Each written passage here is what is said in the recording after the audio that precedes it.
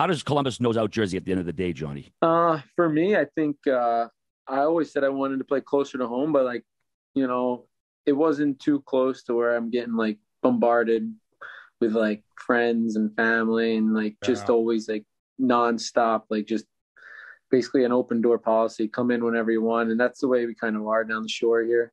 You know, my buddies around just come in or this and that. But you know, if we kind of did it all year, I I think it would have gotten a little out of hand at times. But um, it's far enough where me and my wife can do our own little family thing. You know, we're, we're obviously having our first kid coming up here, so you know it, it's close enough where they you know can visit all the time. It's an hour flight. It's a six hour drive uh, if you're going a little bit faster. Um, and they can come whenever they want. And uh, we can, you know, kind of do our own little thing at times too.